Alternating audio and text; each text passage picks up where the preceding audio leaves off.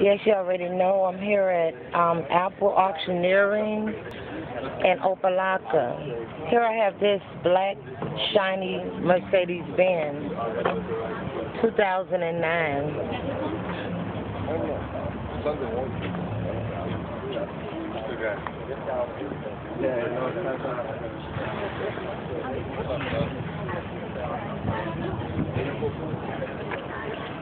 With the red and black seats. And it's convertible? It's convertible. I've never seen a convertible. At the hottest at Hard Auto Show Off here at Apple Auctioneering in Miami in Opelika. Ben.